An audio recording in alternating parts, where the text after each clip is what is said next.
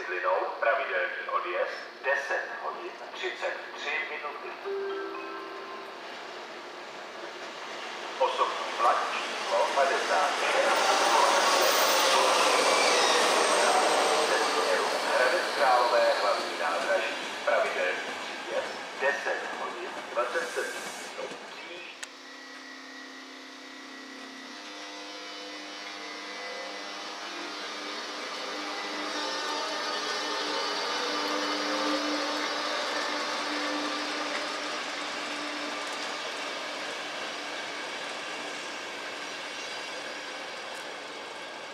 do osobního vlaku číslo 5604 společnosti České dráhy ve směru